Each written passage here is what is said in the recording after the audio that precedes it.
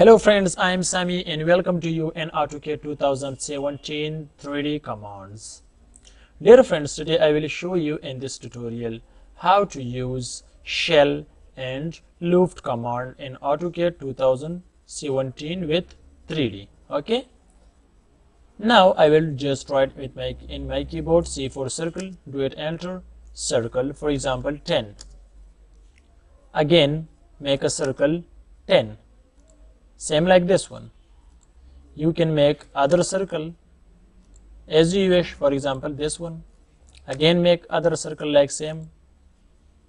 Okay? Use move command.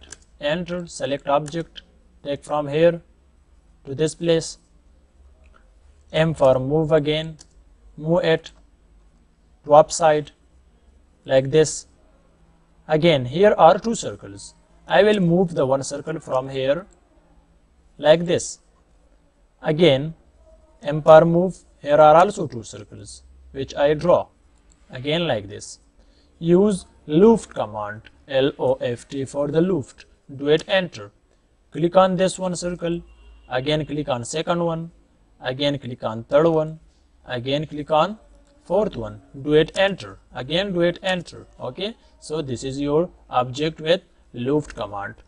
Just write in your keyboard orbit. So you can see it okay? Now I want to open the top side and also bottom side. Again orbit.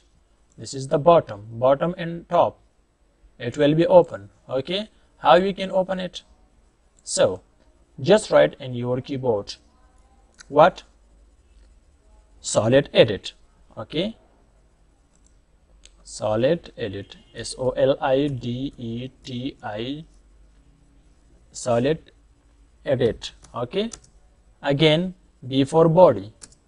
Now s for shell. Click on this one body. Now write in your keyboard a for 8 now write in your keyboard r for remove. Then click on the top okay do it orbit downside also escape command. Okay press escape then click on bottom. Now do it enter. Okay. Do uh, give him the distance. For example 0.5 enter. So the object is open now. You can see it. Okay. So and this is loft and shell command. For more videos you can visit to my channel this is my channel civil engineers engineer Samiullah Stanikzai okay?